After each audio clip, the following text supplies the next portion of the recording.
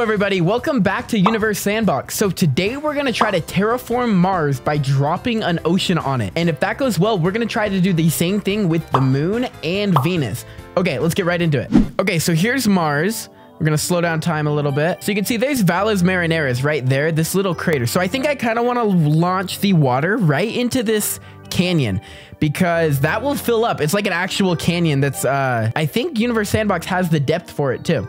So, oh, and there's, that's Olympus Mons right here. This is the biggest mountain, unrelated. Okay, so what we're gonna do, uh, we're gonna, how big is Mars compared to Earth? Let's see. The radius is half of Earth. So theoretically, if we put half of the ocean into Mars, it will fill it up the same as our planet, right? Okay, so to test that, we're gonna go to asteroids. We're gonna start with a random asteroid and then launch it into Mars like that. But before it goes into Mars, we're going to go to the composition of it and make it 100% water. So this is like ice now. And then if we make it big enough, it should turn into a ball of water. Let's set the mass so we can actually set it to the Earth's ocean mass. So if we do one, that is the mass of one ocean. I kind of want it to be a ball of water. Okay, there we go. So now it's a ball of water. So if we set it to one Earth's ocean mass, it's going to be that big. But since Mars is only half the size of Earth, let's do half of an ocean mass. Okay, perfect. We should be able to just let this fly into Mars and see how well it fills it up. Okay, here we go. So it looks like a lot of the water is sort of evaporating off into fragments. Okay, but here it comes on Mars's surface. I don't know what that is. It looks weird. I think it's water vapor or just like little particles of water. Okay, here it comes. Boom. Okay, collision. You can see the water starts to spread out and there's a lot of fragments that come out. I wonder what these fragments are made of. Pause the time. These are made of silicate. So it's shooting off chunks of Mars surface. So now we're going to see over time how well this covers the surface. So that would be not good for life on there. So it looks like this is ice already starting to spread and the water needs to cool down a little bit more. So it looks like we have ice on one side and fire on the other. Speed it up a little bit. Okay, so it looks like it's cooled down mostly. I'm gonna check its life likelihood now. We did it. Okay, so Mars has a life likelihood of 0.427 when it was zero before. So just adding this water was enough to give it a boost where it could have very small like bacterial life. So to get it a little bit higher, we're gonna want the temperature higher and we want a thicker atmosphere. So the temperature thing, I'm thinking we just move it between Earth and Venus. Let's grab our move tool. What if we just move it right here and then set it to auto orbit? So Mars is now between Venus and Earth and that orbit looks decent. Let's take a look at it. This water is definitely going to freeze over time. So to give it an atmosphere, there's actually no way to without actually just changing its settings. So we're going to give it a little bit of an atmosphere. We'll give it like half of Earth's atmosphere because it's like half the size. 0.5 Earth. Okay, so you can see that redness starts to really shine in its atmosphere and we can start to see some clouds. Okay, I'm going to settle the water on the surface. Settle water. And it looks like it's completely covered in water. So we had enough to completely cover it. Oh, there's a little little island. So this actually probably the best for life of all the options atmosphere clouds. So this is what we're left with. We're kind of left with these smaller islands and the rest is just water, just pretty cool actually. So now let's check its life likelihood. So this atmosphere and clouds are still here.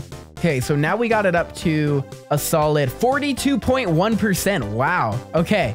Mars is definitely habitable now. I think we could get it a little bit more. It's still really hot where that water asteroid came in. So if we set its average temperature to like 14 Celsius, uh, so it kind of just like is not super hot at that one spot. Let's see what it's at now. 47.3. Okay, that's Mars. So that is a habitable Mars. That is crazy. And let's actually turn the vegetation on and see what that looks like. Let's turn off the clouds. Boom, there we go. Okay. Mars is looking awesome. And it still has like that Mars flavor because of the red atmosphere, I would say. Like that's beautiful. So moving it closer to the sun definitely would help too with its, um, how much light's getting on it and such. So that worked beautifully. So let's try to do that same thing with Earth's moon and see if we can get that to be habitable. Okay, so here's Earth looking beautiful. Let's get its moon. Okay, here's the moon. Awesome, beautiful. So it will be cool to see all of these craters fill with water. So we're gonna kind of do the same thing. Random asteroid, launch. Oh, Oh, no, no, no, don't hit.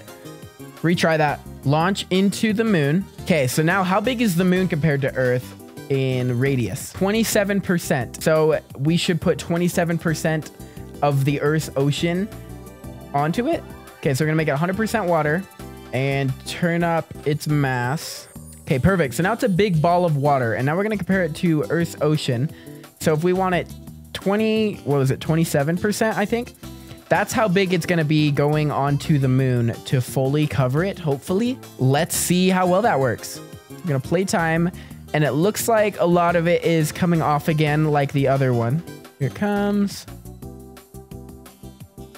And collision with the moon. Wow. Okay, so that immediately heated it all up. The moon has no atmosphere at all. Mars had a little atmosphere, so I wonder if it's even going to be able to keep the water on the surface or if it's just gonna fly back out into space. Speed up time and see. Oh, it looks like the water, yeah, the water left.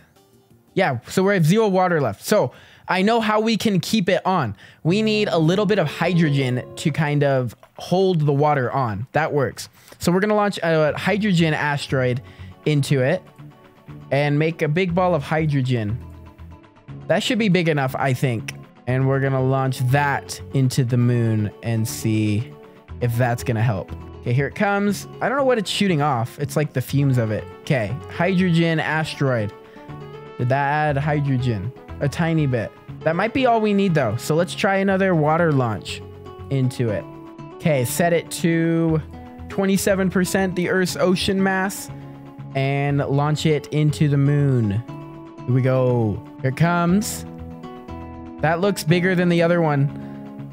That was pretty big. I swear, wait, I might have done that wrong. I swear that was way bigger. Well, let's wait for it to cool down. It looks like the water's staying on it better. It's still in orbit, so that's a good sign. Okay, we have water on the moon now. Let's go.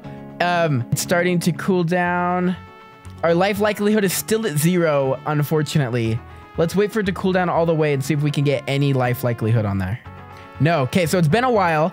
So I do think that the temperature needs to be a little higher and we do need a little bit of an atmosphere. So let's try just adding an atmosphere and see if that will put it in the habitable. So it has life on it. So let's do 27% of Earth's atmosphere. You can see that show up on there. It's a white atmosphere.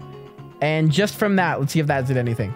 Yes, that added 10.4% life likelihood. So there's a 10.4% chance that this planet or this moon has life on it. Okay, so let's see if we can get that any higher. I'm gonna make it not tidally locked anymore. So the Earth, or so the moon usually faces the same side to Earth always, but that's not good for life because you want a good day-night cycle.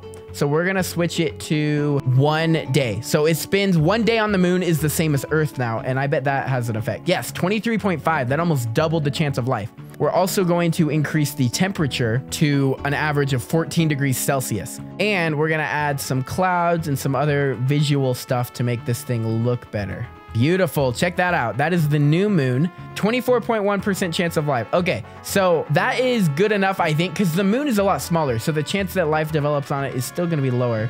You can see we add vegetation. I don't like how it takes all of it and makes it vegetation, though. So I'm actually going to kind of do my own vegetation. I know, I mean, this isn't real vegetation. We're just kind of painting it green, but I think it looks better if you don't have it all green.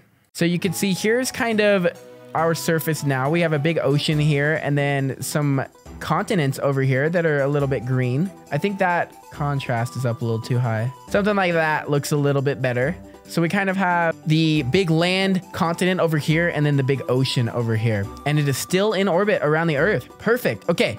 Last one we're gonna do today is Venus, so let's get over to that. All right, here's Venus. Okay, Venus already has a thick atmosphere, so let's try to not touch its atmosphere and just add water and then maybe move it further away and see if that will give us life. So same thing, we're gonna go random asteroid and then launch it into Venus.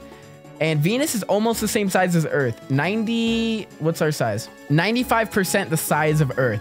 So we're gonna do 95% of Earth's ocean launching into it.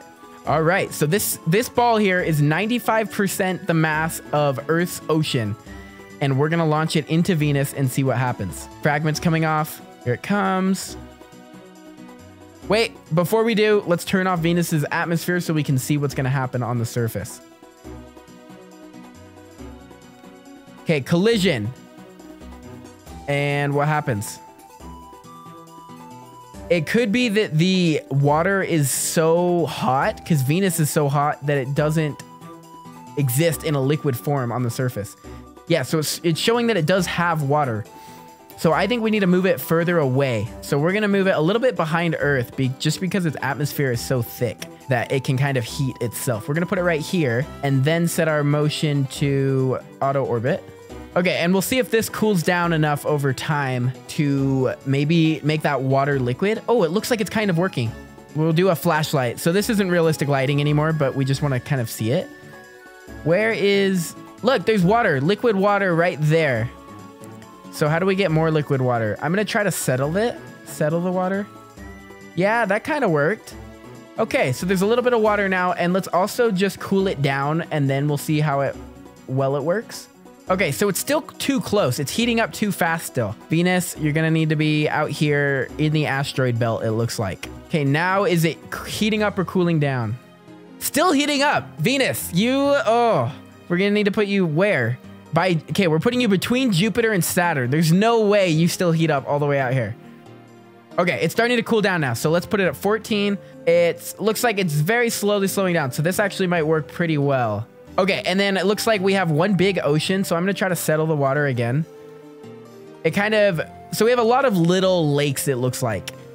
Um, I mean, they'd be big lakes for us, but compared to the ocean, like this is our only like ocean on the surface. So it still does have its atmosphere and clouds. They're just, we just turn them off so we can see the surface. And okay, with that, what's our life likelihood? 0.351%. Wow. Okay. I think we might actually have to make our atmosphere thinner because the pressure's just so much on it. Okay, if I set it to one Earth's atmosphere, it's to be colder, but let's check its life likelihood. Yes, 22.4. And also let's make it so it rotates correctly. And now we get 65%. I'll take that. We made Mars habitable, the moon habitable, and Venus habitable by throwing oceans on it and then I guess changing some of the settings. Thank you guys so much for watching this video. Leave suggestions for more Universe Sandbox stuff down in the comments below. You guys are awesome. Thank you so much for watching.